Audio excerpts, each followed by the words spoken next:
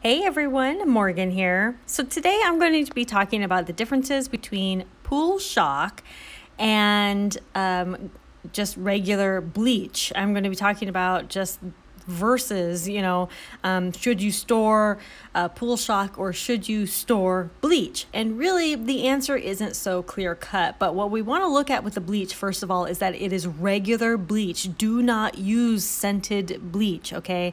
We also want to make sure that uh, the container looks good. There's no, you know, dings or anything. Make sure that you can see the expirations, all that. And also mark on the bottle as well, like when you bought it. Okay, I bought this on, you know, 418, 2019 or whatever. Um, that'll help with expiration. The same with pool shock. Um, go ahead and write, you know, when you bought it, but um, make sure that the package looks good and, um, you know, there's no cuts or tears or, um, you know, it's not hard inside. And so once we get past that point, um, how do we disinfect with either of these? Well, first of all, I want to talk about the importance of storing pool shock and um, bleach. Okay, so when you store bleach, you just store it in its regular container, right? And we store it um, in, under a uh, locked cabinet. And um, with pool shock, we store it in a plastic container, a sealed container. Um, and we store that in a locked cabinet as well. So as you can see, you know, some sort of sealed container like this plastic container is perfectly fine. Try to keep it in its original package. Try not to, you know, pour it out anywhere. And um, you could also uh, store it in some sort of glass container. Again, try to store it in its original package within the glass container and then just seal up the glass container.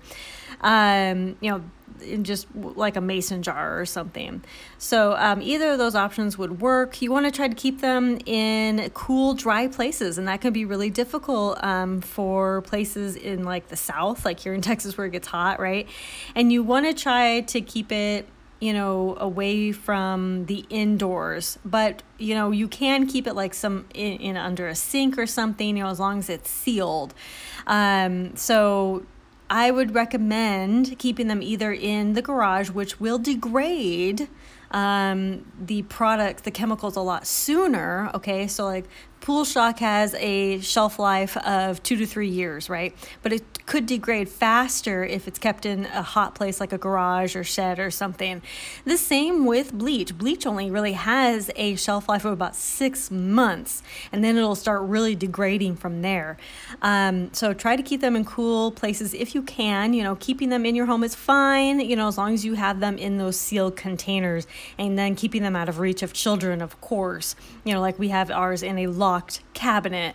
Um, and so so already, you know, the shelf life of pool shock treatment is great compared to bleach, right?